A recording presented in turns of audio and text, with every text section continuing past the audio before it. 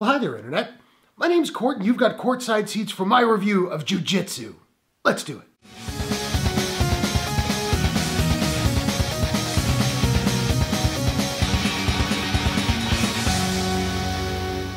Jiu-Jitsu is an action comedy sci-fi from director Dimitri Logothetis and VVS Films. The movie stars Alain Moussi, Frank Grillo, Rick Yune, Marie Avgeropoulos, Tony Jaa, and Nicolas Cage. Every six years, an ancient order of jujitsu fighters joins forces to battle a vicious race of alien invaders. But when a celebrated war hero goes down in defeat, the fate of the planet and mankind hangs in the balance. So I think this movie came out in the States about a month ago. We just got it here in Canada, so I'm a little bit late to it. But it's Nic Cage, Tony Jaa, and Frank Grillo using martial arts to fight aliens, so how could I not watch it? And this may be the craziest statement I've ever made in my time on YouTube, but given the premise, which bears repeating that it's Nic Cage, Tony and Frank Grillo using martial arts to fight aliens, somehow this movie is inexplicably boring. Of all of the adjectives that I would have thought I could use to describe this premise ridiculous, absurd, wildly entertaining, hilarious boring is the last word I would have thought would apply. Now, again, based on the premise, did I go into this movie thinking it would probably be good?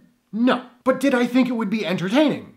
Absolutely and it really just wasn't. But as per usual, let's start with the good first. The movie uses a framing device of like graphic novel panels to split the film up into separate chapters. I thought that was really cool. And while the color palette of a lot of sequences is rather bland, there are some moments that really pop with these really vivid blues and greens. I, I really dug that. And when the characters are speaking in other languages, the subtitles on the screen have a very comic book look. The font is cool and they change the color of any specific word where they really want to accent that word in the sentence or change the inflection. I liked that. And the alien suit itself was pretty cool. Sadly, that's kind of all I've got for positives. I'm not sure how long the opening credits sequence went. It was epic music set to graphic novel panels. It looked cool, but it just went on and on. I'm guessing at least a good solid two minutes. It felt like 10. Now, I should say as a caveat, I'm not really into martial arts movies. I've got nothing against them, they're just not really my jam. And I have no doubt that this movie uses a lot of homages and tropes of that genre that just went straight over my head. I will admit that. But I will say the camera work here was a huge problem for me. I'm down with handheld shaky cam sometimes. It can be very effective when used correctly and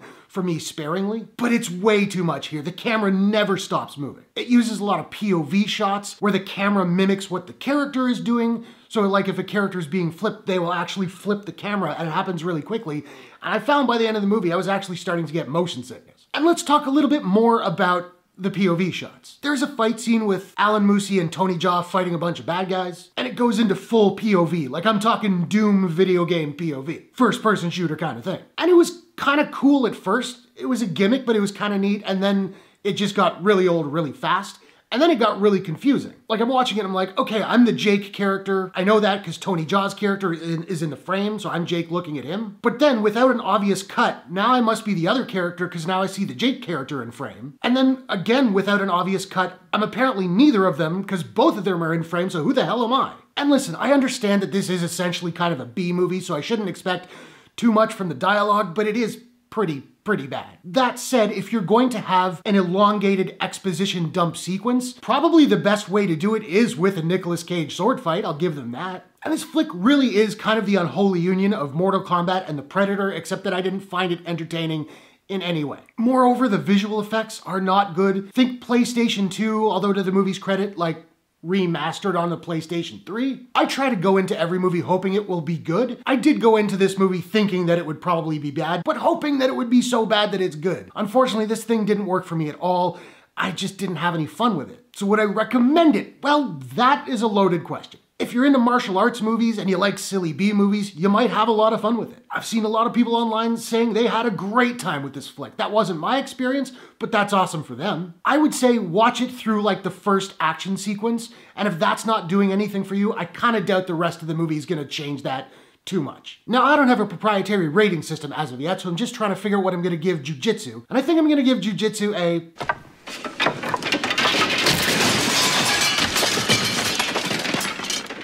out of 10. Now, I want to know, have you seen Jiu-Jitsu? What did you think about it? What is your favorite martial arts movie of all time? Whatever your thoughts, hit the comments below. Let's discuss. If you enjoyed this review, please smash that like button and give it a share if you really enjoyed it. And hey, why not take a second, do me a favor, click subscribe and ring that bell to subscribe to my channel for more movie reviews, entertainment news, trailer reactions, all that good stuff. Hope you guys are all safe and healthy. Thanks very much for watching. I will see you all in the next one. Take care.